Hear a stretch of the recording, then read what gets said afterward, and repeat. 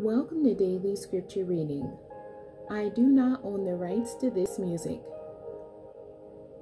These are scriptures on being sincere and being honest. Honesty. Sincere means free from pretense or deceit, proceeding from genuine feelings, wholehearted, heartfelt, profound, deep, genuine, from the heart, can also mean real. Honesty means the quality of being honest, uprightness, honor, integrity, morals, morality. I will read the King James Version of Titus chapter 2.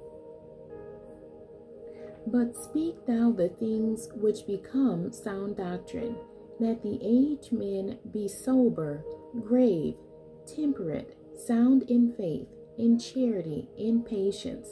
Aged women likewise, that they be in behavior as becometh holiness, not false accusers, not given to much wine, teachers of good things, that they may teach the young women to be sober, to love their husbands, to love their children, to be discreet, chaste, keepers at home, good, obedient to their own husbands, that the word of God be not blasphemed.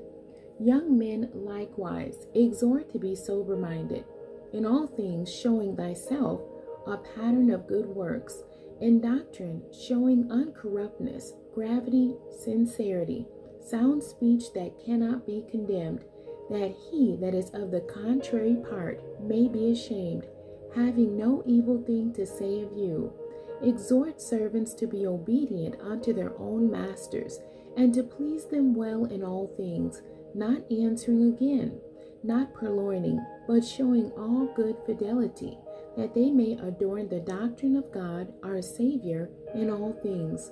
For the grace of God that bringeth salvation hath appeared to all men, teaching us that denying ungodliness and worldly lust, we should live soberly, righteously, and godly in this present world, looking for that blessed hope and the glorious appearing of the great God and our Savior, Jesus Christ, who gave himself for us, that he might redeem us from all iniquity and purify unto himself a peculiar people, zealous of good works. These things speak and exhort and rebuke with all authority. Let no man despise thee.